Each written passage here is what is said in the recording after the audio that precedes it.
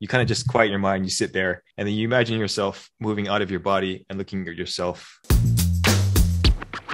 Hey, it's Walter here, and you're at the Think Profit podcast, where we're going to help you develop a rock solid trading confidence and avoid the potentially endless cycle of system switching. Right, Hugh? That's right. We're going to help you develop a wealth mindset, develop a trading strategy that fits your core personality, and help you overcome the obstacles that stop over 90% of traders. All right, Hugh, sounds good. You ready to go? Yeah, let's do this. Hey, Walter, somebody wrote in and they're asking, um, why do I keep making mistakes after a string of losers and what can they do? Right. So there's two, there's a couple of things that I would look to. I would look to your emotional context uh, when you're making these decisions and also the mechanical aspect of your system and how you're executing. So you need to score yourself on how well you are entering your trades and exiting your trades, also managing your trades if there's mm-hmm. management decisions like moving to break even, and then having a journal where you're writing about your feelings and your thoughts during the time. You can probably pinpoint other things going on in your life that may be impacting your actual trading uh, execution. So that those those are two pretty common things you might find, for example, like some traders like me, we get really overconfident when things are going well. Mm-hmm. So right now I'm currently in four trades and they're all going quite well. So it would be easy for me to see another potential fifth trade and get excited. About, in fact, I did this morning, and and get get excited about you know what I mean, and maybe even take it if it wasn't up to par, right? Yeah. According to your rules.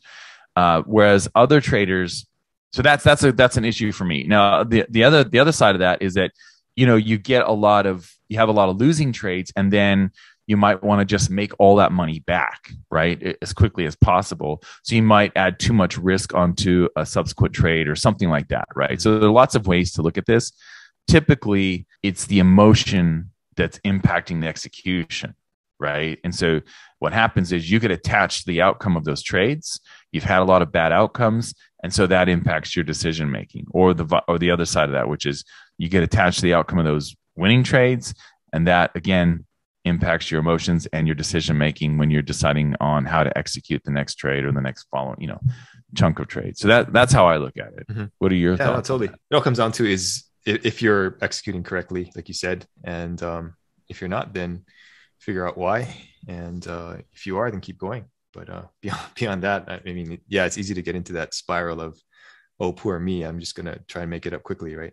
Yeah, the catastrophic uh, catastrophic thinking, right? Yeah. Where you just say, "Oh, I'm never going to make it. It's never going to work for me." Blah blah blah blah, and it, exactly right. So that so that and you can stop that with logical thinking. Mm-hmm. Uh, you can have a trading accountability partner to talk to about that, and they can help pull you out of that. But there are lots of techniques. Actually, I've been thinking about making a course on this, just on mm-hmm. this issue of you know building up your resilience and stuff because i think it's a really important thing i think it actually in some ways like fortitude and the desire to make it work i mean trading work for you is important. And also with that would be like resilience. And they're kind of related in in a way.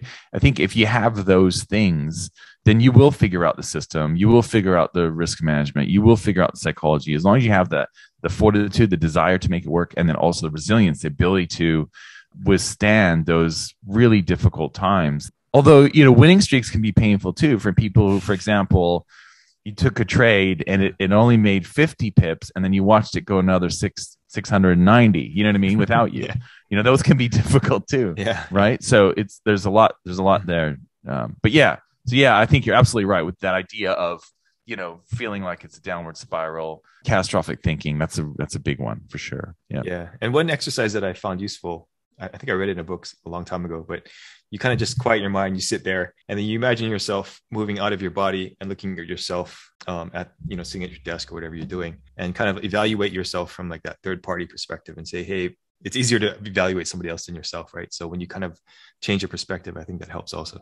Yeah. You know, that reminds me what you just said. It reminds me of like an NLP thing I read about like in 2003 or whatever. And it was, and I started using the exact thing, which is um, so it's kind of what you said right? So you imagine like, like let's say you're sitting there trading at your trading station right? So you imagine that you're like a fly on the wall looking at you. Mm-hmm. so from that perspective like what would the angle be from the height? And mm. and then what you do so the way that you do it is you view yourself from another's perspective. It could be like from the top like as a as if you're looking down like from a drone or or whatever you know looking down on your head doing the right thing like doing everything right, executing as you should, right? And that's in full color, the sound, everything is as realistic as possible. And then if you want to kill a habit, what they said was you would look at it, you would see yourself making a mistake. Okay, so making the, ha- the doing the thing that you want to get rid of from another perspective, right? But it's in black and white, okay, mm. and it's really kind of grainy and almost not uh, like an old movie or something, right? So it's in black and white. It's not as vivid as the the one that when you envision what you want to happen, and then you watch that film, and then you actually like then you actually take that film, right? That black and white film of uh, the recording of you doing the wrong, wrong, mistake, and you like throw it into the fire, or you know, blow it up with dynamite, or mm-hmm. you know what I mean, like put it in front of the train tracks and let the train run over, or whatever, you know, flush it down the toilet. And so that's a way of kind of like purging yourself of that. So anyway, that's a technique if people want to try it out. Let me know how it goes. yeah. Yeah, no, that works really well. I think I heard that from Anthony Robbins somewhere, and he probably got it from NLP. But NLP probably, yeah, yeah, yeah, yeah. Uh, yeah. Awesome. Okay. Thanks, Walter. Okay, cool. All right. All information in this podcast is for educational and informational purposes only and is not trading or investment advice.